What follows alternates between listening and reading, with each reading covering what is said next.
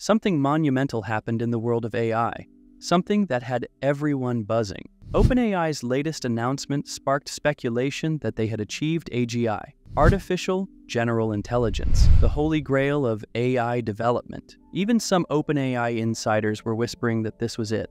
Not so fast. Just as the excitement reached fever pitch, skepticism started brewing.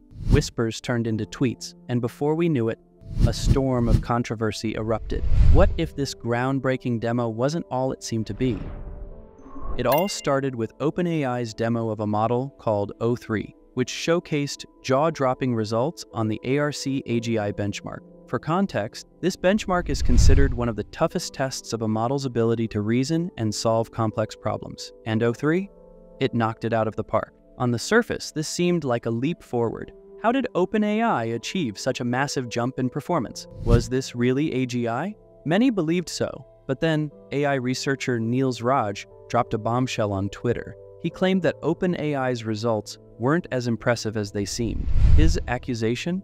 That the model was trained on the very dataset it was being tested on, essentially giving it a head start. The controversy didn't stop there. During the O3 presentation, a curious moment occurred, what some are calling an Altmanian slip, a playful twist on the Freudian slip.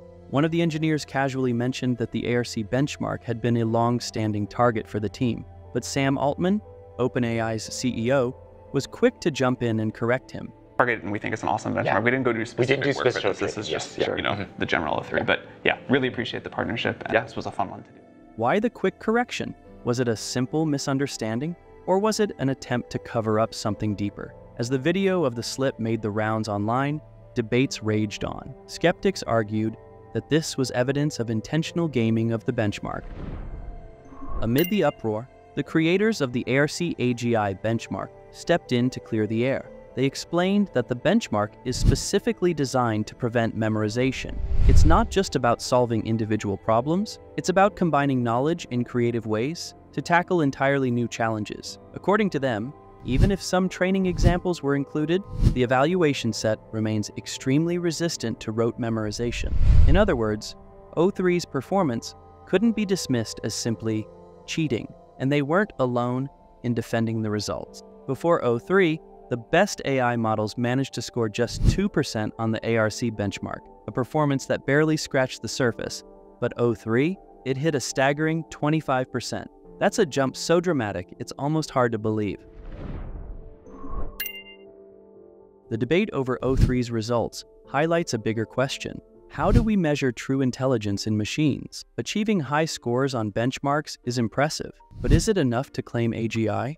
Critics argue that benchmarks can be gamed, but let's not lose sight of the bigger picture. Whether or not O3 represents AGI, it's clear that we're making real progress toward systems that can reason, learn, and adapt in increasingly sophisticated ways. And that's something worth celebrating. It's important to stay critical. As Gary Marcus points out, skepticism is healthy. It keeps us honest and pushes us to do better. We risk getting caught up in the hype and losing sight of the hard work it takes to achieve true breakthroughs. What's next for O3 and models like it. OpenAI has promised to conduct further studies to address some of the lingering questions about its performance. And as the field of AI continues to evolve, we can expect even more intense scrutiny of new claims and benchmarks. But here's the thing. Progress in AI has never been a straight line. It's a messy, iterative process, full of both breakthroughs and setbacks. And while debates like this one can be contentious, they're also a sign of a field that's alive with innovation and discovery. Whether you're an AI optimist or a skeptic, one thing's for sure, we're living through one of the most exciting periods in the history of technology. And as we inch closer to the dream of AGI, the conversations we're having now will help shape the future of this incredible field.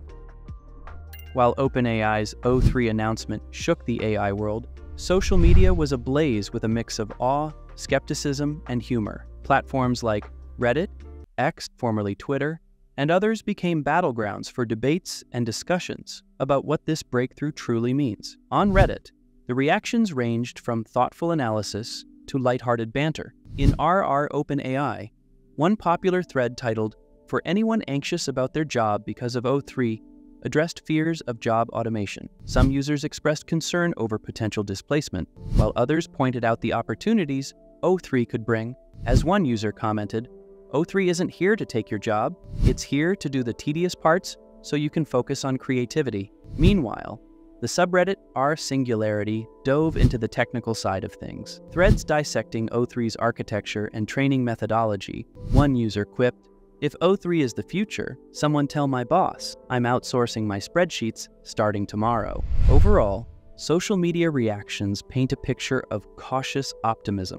While many celebrate O3's potential to revolutionize industries and push the boundaries of AI, there's a shared understanding that transparency, ethical considerations, and rigorous testing are crucial as we navigate this brave new world. So, did OpenAI fake AGI? The answer is probably not. But the controversy around O3's results underscores the importance of transparency, rigor, and open dialogue in AI research. At the end of the day, O3 is a remarkable system, one that's pushing the boundaries of what's possible. And while it might not be the ultimate breakthrough we've all been waiting for, it's a step in the right direction. What do you think? Are we on the brink of AGI?